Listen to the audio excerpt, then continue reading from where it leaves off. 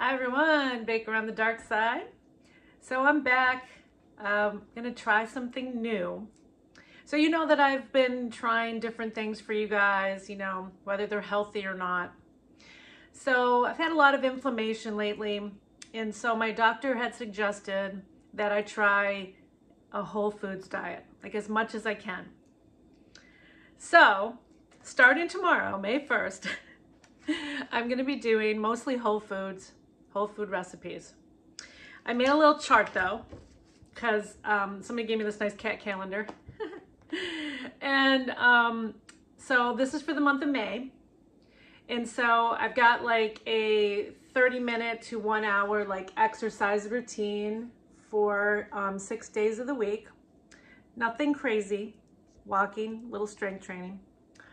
Um, and then the doctor said that for the 30 days, I have to have mostly whole foods and that I could pick a few days, maximum three days, that I could have a little free day. Not to go too crazy, but I could eat something more uh, that I would like. So I was like, okay. So, um, you know, I picked Mother's Day because, yeah, I'm going to eat something I want on Mother's Day. And then I picked Memorial Day weekend because kind of vacation stuff going on. So um, the rest of the days, though, we're going to be on the Whole Foods.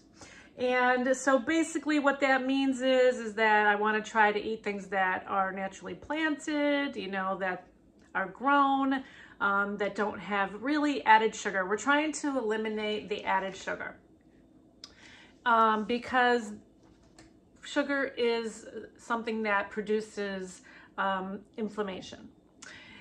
And the doctor also stated that ultra processed foods, even if they seem healthy, can also trigger inflammation. So we're going to try this. We're going to see if whole foods really do make you feel better. So with that said, it's going to be interesting the next few videos that I have and I'm going to try to kind of make it fun I'm going to try to, um, you know, go a little bit to the dark side and pick out some vegetables that I have like not tried or have not cooked with and see if I can find some recipes or figure out something, what I'm going to do with them to make them more enticing to me. So we'll see how this ride goes. I'm still going to do the family recipes uh, that don't have sugar. So all of the recipes that are going to be happening in the next 30 days or so are going to be without added sugar. Now, I can have things that are naturally sweetened, which are um, banana or date, uh, fig, uh, applesauce, if I make my own, or apples, uh, prunes, obviously, um, sweet potato, but we're not gonna add any sugars. We're not even gonna add the fake sugar, no allulose, even though it is my fave. Um, we're not adding anything like that. And we're gonna see how it goes. Um, if I do feel better, then we'll see it, you know, how that progresses.